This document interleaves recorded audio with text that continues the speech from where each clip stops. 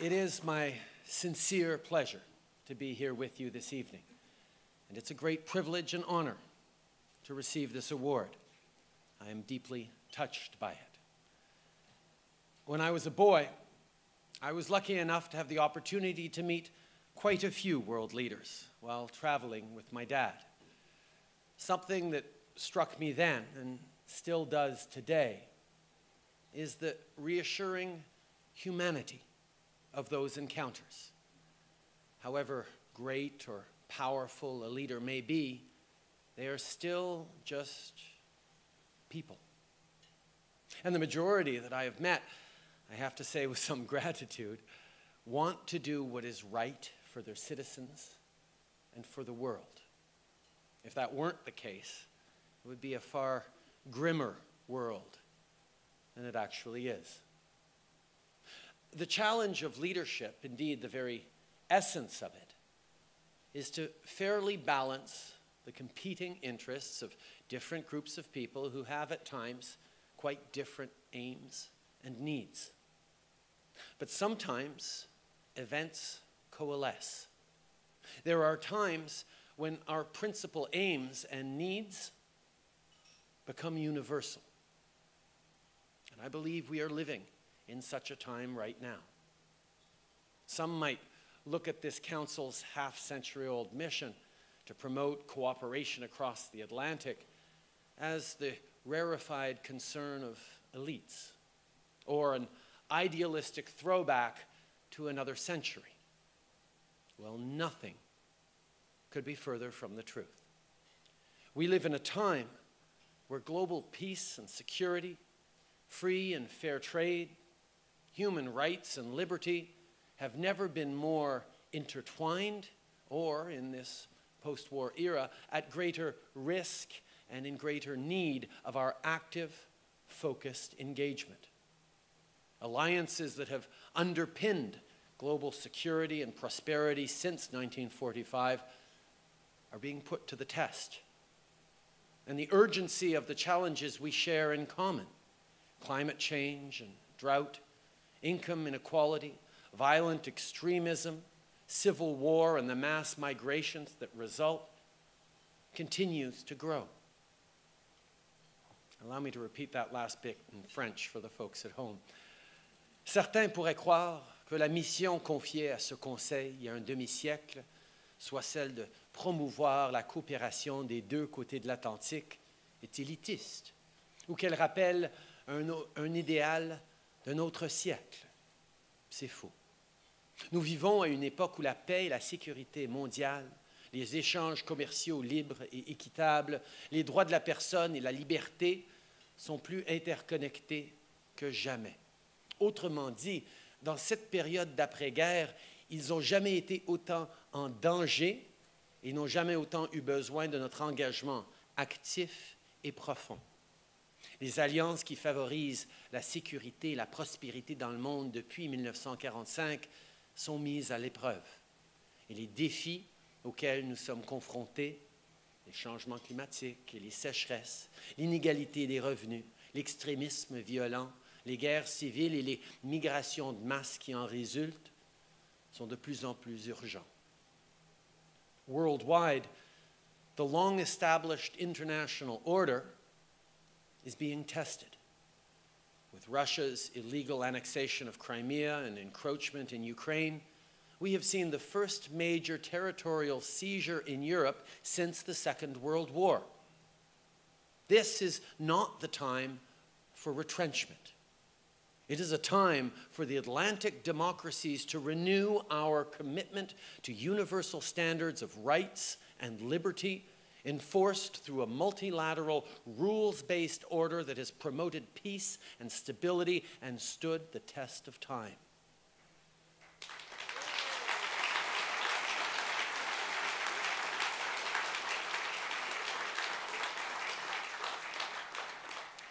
We have to work together on this, which means a renewed commitment to long standing alliances such as NATO and NORAD bodies such as the United Nations and the WTO.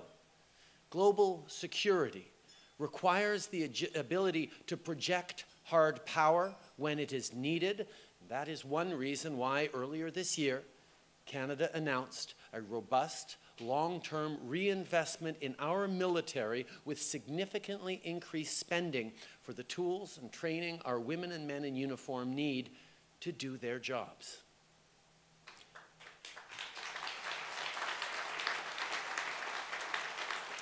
The second major pillar of global peace and security is, of course, free and fair trade. As you know, as you may know, as you hopefully know, Canada is currently engaged with the United States and Mexico in modernizing the North American Free Trade Agreement.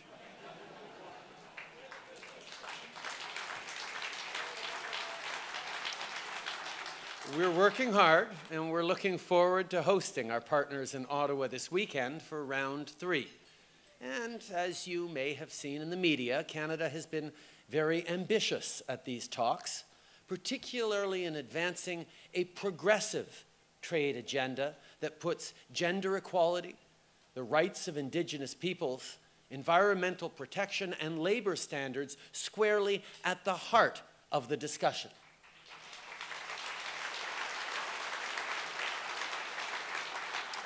Now, some appear to have been confused by this. It's as though they expect us to do trade exactly the same way it was done by our parents a quarter century ago. And yet, there is a precedent. CETA, Canada's groundbreaking trade agreement with Europe, goes into provisional application in two days. It is the most progressive trade agreement in the world today we made it that way for a reason. Trade, as it has long been done, though broadly positive for the majority, has not been perfect. If it were, there'd be no political current against globalization.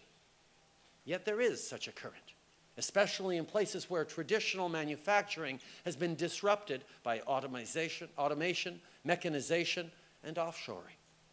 So we need to do a better job of ensuring the benefits of trade extend to the middle class and those working hard to join the middle class, not just the wealthiest few. We made a deal. We told people that trade and the things that went with it would lift all boats, would benefit everyone. And people have been wondering when that benefit is going to hit the majority. That's what we need to turn around. We need to do more to help the people displaced by economic shifts so that they can get well paying jobs and provide for their families. A big part of that is upholding labor rights, not just in our own countries, but worldwide. And again, that's an important bit, so I'm going to repeat it for the folks at home. Les échanges commerciaux, tels que nous les connaissons depuis longtemps, bien qu'en majorité positifs, n'ont pas toujours été parfaits. S'ils l'avaient été, il n'existerait pas de courant politique contre la mondialisation. Pourtant, ces courants existent bel et bien, surtout dans les endroits où l'industrie de la fabrication traditionnelle est perturbée par l'automisation, la mécanisation ou la délocalisation. Nous devons donc en faire plus pour nous assurer que les échanges commerciaux profitent à la classe moyenne et à tous ceux qui travaillent fort pour en faire partie, pas seulement aux mieux nantis. Et nous devons en faire plus pour aider ceux qui perdent leurs emplois en raison de fluctuations économiques, pour qu'ils puissent obtenir un emploi bien rémunéré et subvenir aux besoins de leur famille. La solution réside en grande partie dans la défense des droits des travailleurs, non seulement dans notre propre pays, mais partout dans le monde. In short, progressive trade is not a frill. In addition to being the right thing to do, it is a practical necessity, without which popular support for a growth agenda could not be maintained. The third pillar of peace and security is the advancement of human rights, liberty, and tolerance, the very touchstones of our societies. Although even the word tolerance is something that I like to think we can get past. Because use the word tolerance in a sentence. I tolerate that you exist.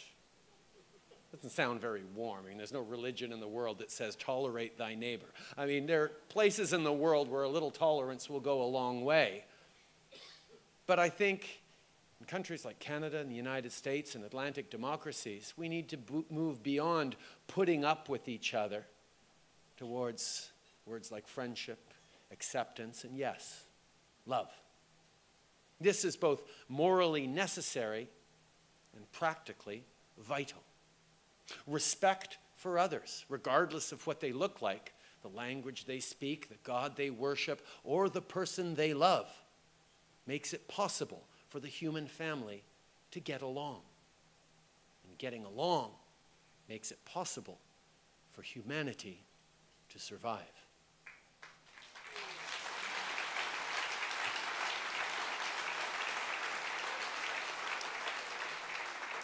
In the 1980s, when I was a teenager, the fight against the apartheid system in South Africa dominated the global conversation.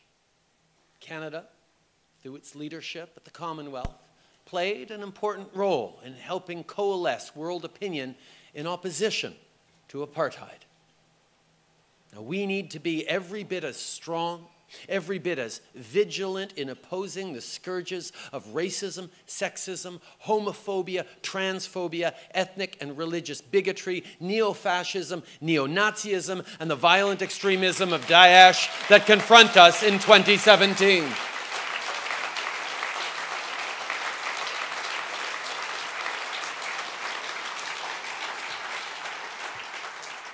We cannot waver. It would be unconscionable to take even one step back in, in upholding the standards of decency, of the sisterhood and brotherhood of the human family that won the day in the most painful struggles of the last century.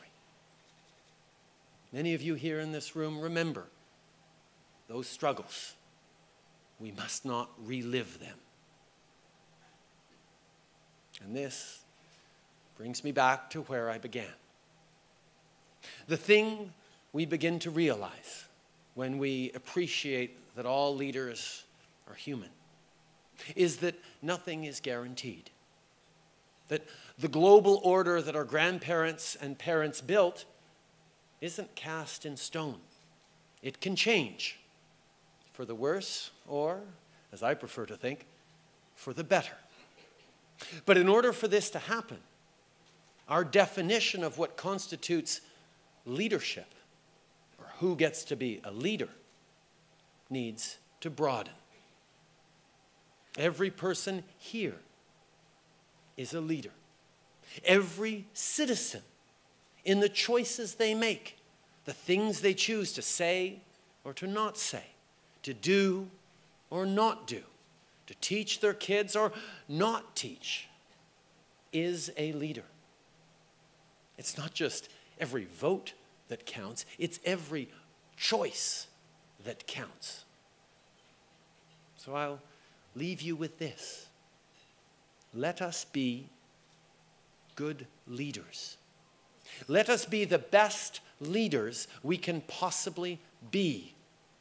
Together, let's roll up our sleeves and let's get on with the tough, entirely achievable vitally necessary work of leaving this world a better place than we found it, our children and grandchildren deserve nothing less. Merci beaucoup.